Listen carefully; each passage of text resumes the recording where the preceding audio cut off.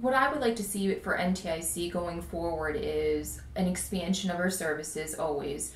Again, going back to being a nonprofit and education, we're uniquely positioned to be able to offer and to really go with the times of change. So, a few years back, obviously, the natural gas industry came about. So, we had a lot of our employers reach out to us about opportunities there.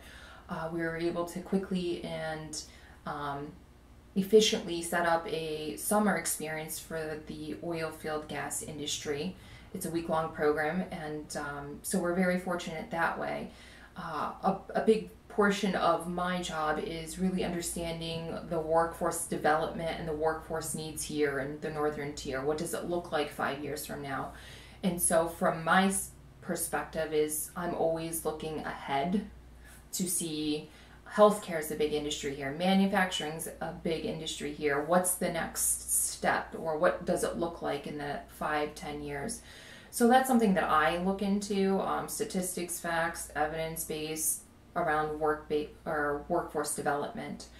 I would like to see NTIEC obviously offer more services around different sectors not only that, but um, what are the needs of the school district? You know, we're seeing a change that, you know, it's not the four year degrees, it's not pushing them to higher education.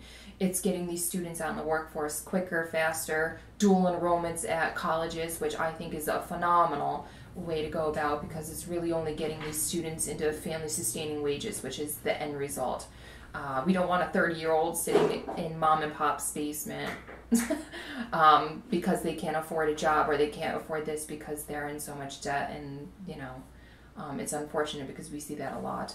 Um, Long term, another goal that I look for is maybe perhaps we expand um, into different territories as well.